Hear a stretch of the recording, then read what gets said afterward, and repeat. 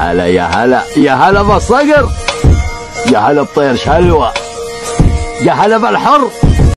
السلام عليكم ورحمة الله وبركاته. تحياتي إلى طيور شلوى فرسان الديرة الصقور الرقم الصعب اللي بعتز فيكم وبفتخر فيكم. تحية خاصة لخالاتي وإلى جميع الأحرار. أينما تواجدتم أنكم لم تعتادوا المشهد ومستمرين في دعم أهل غزة وصمود أهل غزة بكل الوسائل المتاحة شكرا لكم بعنف ورب العزة رغم الألم والوجع والآهات اللي منشوفها إني أرى النصر قادم وقريب. فصبرا يا أهل غزة فموعدكم النصر بإذن الله. طيب تفجير لايك لهذا المقطع وفعل زر الإشارات الجرس واللي بيقدر ينضم للقناة ينضم أو ينتسب. تعالوا لأنه اليوم رح يبدأ طوفان الصقور في يوم من الأيام يا جماعة الخير انسألت سؤال أو كان استدراج أو كان إغراء اعتبروه شو ما تعتبروه بالنسبة للجزائر. فكان ردي ببساطة هيك صدمهم صدم. تعرف شغلة لو انحطيت تحت الأمر الواقع؟ قالوا لي يا بتنقلب على الجزائر يا بتموت لا بفضل الموت بشرف وكرامة ولا انقلب على شعب من أجمل وأطيب الشعوب في هذا العالم ومن أرجله. الجزائر بالنسبة للصقر اللي بحبها حب من طرف واحد من ضمن مبادئه الدفاع عن الجزائريين الطيبين الرجال اللي مواقفهم مشرفة ومقولتنا الرجال تدعم الرجال المية وخمسة يدعمون المية وخمسة أما المية وستة فيدعمون المية وستة. طلعت حملة على الجزائريين وإحنا كنا متوقعينها يعني عملنا الخطة وجهزناها لنرد على الروس المربعة والمستطيلة والبطاريق السحاري وعصابة الرداء الأبيض وذيول الكيان المطعوج والكيان المطعوج أو الكيان السوس كنا مجهزين كل شيء. وفعلا بدأت هاي الهجمة بسبب مواقف الجزائر ضد الكيان المطعوج. أو الكيان السوس. فاهمين علي؟ لأنه باختصار الجزائر ضد الكيان والكيان ضد الجميع. الجزائر ضد إسرائيل وإسرائيل ضد الجميع والجميع نسي إسرائيل. والجزائريين والجزائريين لا يركعون إلا لله.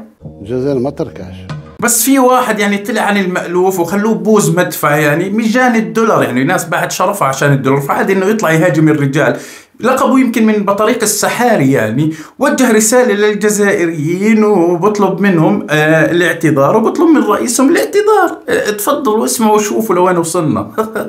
آخ بس قبل هيك استنوا شوي. بتذكر إنه في بطريق من بطريق السحاري اجى في العملاق الأخضر والمارد الأخضر الجزائر القلعة الشامخة. فالآن هيو تايه في ميناء أضرار. المهم ما علينا ما بس التذكير. خلينا نروح نشوفه شو ماله. حتى الرئيس الجزائري واجهة للأسف تم استغلالها. وعلى ما يصطلح الحال بإذن الله ويعتذر الرئيس الجزائري نفسه عن هذه التصريحات ويطلب الرضا. شماله شماله الشعب الجزائري شعب مسكين يسعى لكسب رزقه يوميا. الجزائر بلد ينخره الفقر ويعمه الفساد ونهب الثروات. أنت بتتكلم جد.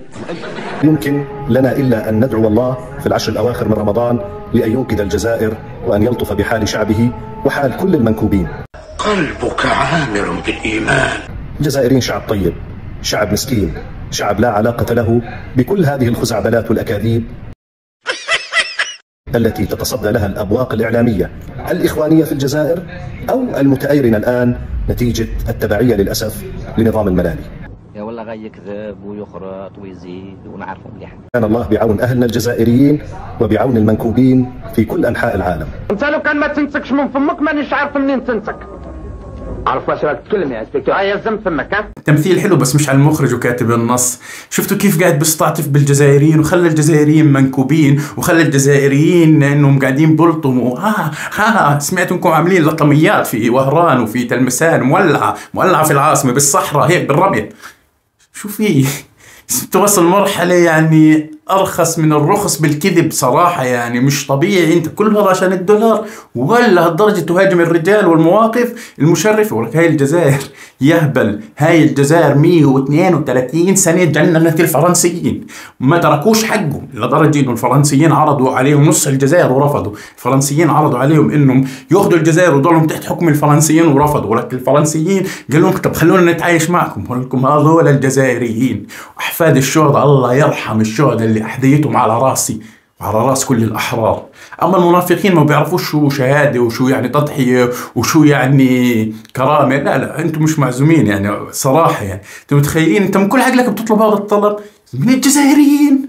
إذا من الجزائريين طيبين. مش منافقين رجال. بدك إياهم يطلعوا يعتذروا طب هو رئيسهم من الشعب ومستمد أصلا هاي القرارات من الشعب ومن أحفاد الشهداء والثوار. كل كل هذا عشان الجزائر واقفة شوكة بحلق العملاء والخونة واقفة شوكة بحلق الكيان المطعوج يا حيف كان فيك تحكي كلمة طيبة مش لهالدرجة تصل. ولا الدولار ضيع عقولكم؟ ولك الصقر واحد. والصقور واحدة واللي قدامك فيش في جيبته نص دولار. بس بيعبيك كرامة وشرف ورجولة. نعم. المصاري لا تصنع الرجال. الرجال تصنع المصاري. زي ما بقول لك خذ مني. الجزائريين أصحاب عقيدة سليمة. الجزائريين أصحاب مبدأ وموقف ورجولة. الجزائريين قدموا ملايين الشهداء من أجل بلدهم ومن أجل إعلاء راية الحق. الجزائريين قلعة شامخة بوجه كل الأنذال والكيان المطعوج الجزائر المارد الأخضر أو العملاق الأخضر. فمين أنت يا بطريق إنك تلعب معهم؟ اصحوا على حالكم هاي الجزائر. هاي الجزائر اللي بتربي ولادها على العقيدة السليمة وعلى الكرامة وعلى الرجولة وعلى كره الكيان المطعوج وعلى دعم فلسطين بيت المقدس لأنها قضيتهم الأولى العقائدية وكره الكيان المطعوج أو الكيان الصوص أما أنتو شغل مراقص حلال. آه آه آه وشغل شو اسمه آه مهرجانات العو مش العو خليكم فيها. خليكم فيها وما تلعبوش مع الرجال. من الآخر خليكم في قسم المية وستة. هاي الجزائر الله يحميها. هاي الجزائر الله يحفظها. لأنه هاي الجزائر بشعبها وبمواقف شعبها وبعقيدة شعبها واقفة وصامدة بوجه كل الأنذال يا جزائريين بدي أذكركم إنه هاي الأشخاص نفسها طعنت في رجال الأمة. رجال غزة اللي بتدافع عن شرفنا وعرضنا ومقدساتنا. طعنوا فيهم وشوهوا صورتهم وما خلوا لهم. يا جزائريين فعادي جدا إنه يجوا عليكم. هذول وصلوا لمرحلة حب وانتماء للكيان المطعوج أكثر من شعب المطعوج. أنتم متخيلين؟ متخيلين العار لوين وصلنا؟ الله يحمي رجال غزة العزة. الله يحميهم ويثبتهم يا رب وينصرهم على كل المنافقين وعلى أعدائهم. بني مطعوج وبني صوص يا حيف بس. وإن شاء الله وإن شاء الله راح يجي اليوم ونخلص من كل المنافقين ومن كل المبطحين ومصير الحق ينتصر. لو بعد حين لأنه هذا وعد الله. والأيام اللي جاية إن شاء الله أيام بيضة لنصرة الأحرار أينما كانوا. على كل تحيا غزة العظمى بأهلها وشعبها وصمودها ورجالها. تحيا غزة بلدة التوحيد في هذا الزمن. وتحيا الجزائر عصية شامخة محمية بإذن الله برجالها وثابتة على مواقفها. وتحيا فلسطين وتحيا هاي الأمة خالية من المنافقين والمباطيح والله يرحم الشهداء ويشافي الجرحى. واللي بدي أحكيه صقر واحد صقور واحدة طوفان الصقور سيبدأ.